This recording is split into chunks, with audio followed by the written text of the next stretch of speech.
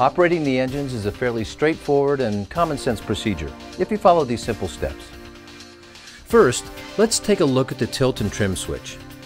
This switch moves the engines upward out of the water and downward back into the water.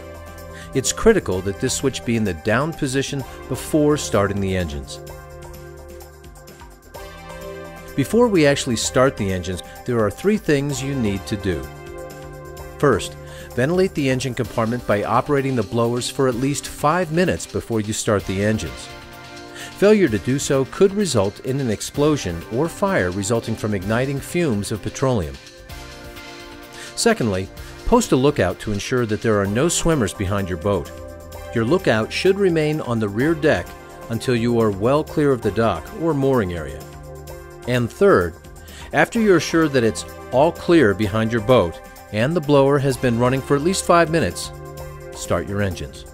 When you turn the ignition switches on, the throttle control will beep and the light will flash. This is normal.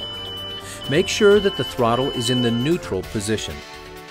Press the button until the light becomes solid. Now you can start the engine and turn off the engine blower. Slowly engage the engine throttles in the appropriate position, either for backing up or for moving forward. With all these steps completed, you should be safely underway